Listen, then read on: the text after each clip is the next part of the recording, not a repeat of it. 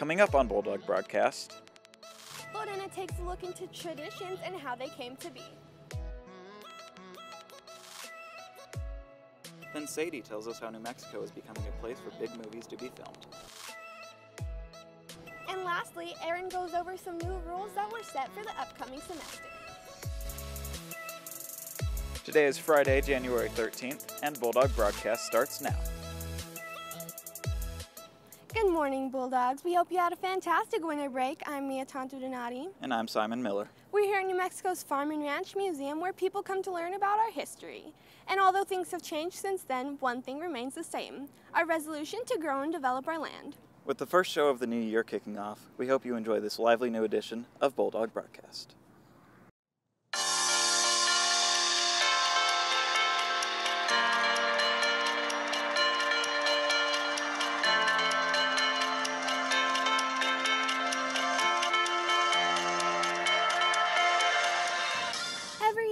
Goals or resolutions for ourselves that we wish to accomplish. This tradition is thought to have started in ancient Babylonia, where it has carried on since. To learn more about this enthralling topic, we send it over to Lorena, where she takes a more in depth look into the history of resolutions. Hey there, Bulldogs. Now, we all have traditions for ringing in the new year on January 1st, whether it be setting off some fireworks or setting some new resolutions. But we were wondering how these traditions started. We spoke with Mr. Aguirre, one of the history teachers at LCHS, to find out. The tradition of New Year's uh, dates back to our earliest records of about 4,000 years ago in ancient Babylon. Uh, the ancient Babylonians would use the first new moon right after the vernal equinox, which is basically uh, a day in late March that would have the same amount of daylight and night. And they would use this day as a way to mark the beginning of the new year. Many traditions have originated around the globe, and yet we still utilize them today. Um, and then our other customs that are shared worldwide are usually watching fireworks um, right at the start of midnight or even making a New Year's resolution. Now, we can also uh, date back the New Year's resolution to the ancient Babylonians, where they would use this as a way to uh, kind of send a send like a, a prayer to their god or gods as a way to get a, a prosperous or happy new year. I hope you guys made some great resolutions to fulfill this year. Reporting for Bulldog Broadcast, I'm Lorena Ortiz. Thanks, Lorena. You know, I thought resolutions were just something you give up on after a while.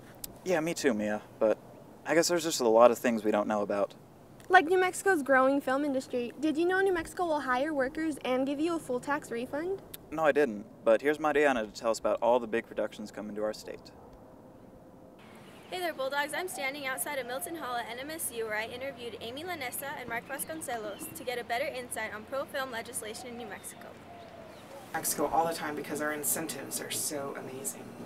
Um, if you hire New Mexicans to work on your film and use a certain amount of New Mexico resources, then the state gives you a tax rebate. Um, tax incentives are really important, and all the states that have the tax incentives in place, like New Mexico, um, they're doing the most business. So it's, uh, it, it's, it's all about money. So if you can give these producers a break by giving them some money back um, when they come to your state and spend hundreds of millions of dollars sometimes, they like that.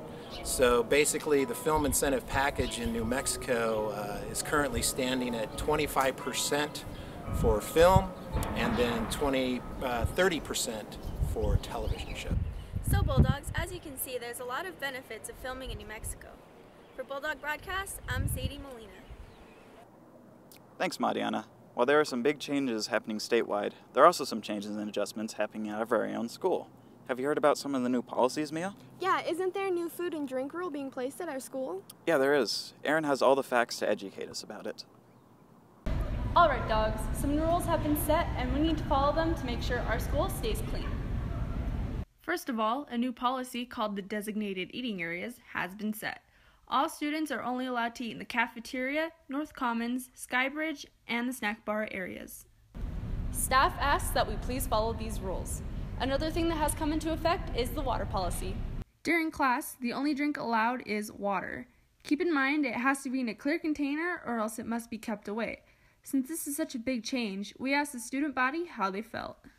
Kind of a bummer, but I guess it is what it is. I believe that water shouldn't be the only thing you're drinking in class. You know, some people need their morning coffee to be in a productive environment. Um, uh, I could understand why they don't want water there um, in the classrooms, but I mean, other than the spillage, I can't find another reason.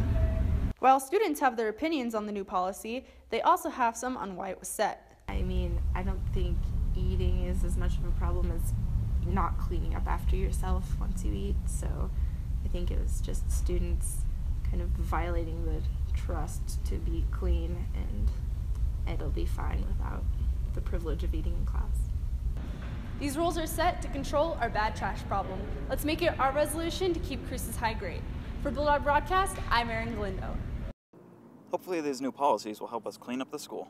Yeah, dogs, make it your New Year's resolution to keep our beautiful school clean. Once again, I'm Mia Tonto Donati. And I'm Simon Miller. We hope you enjoy the new year, and we'll see you again next time.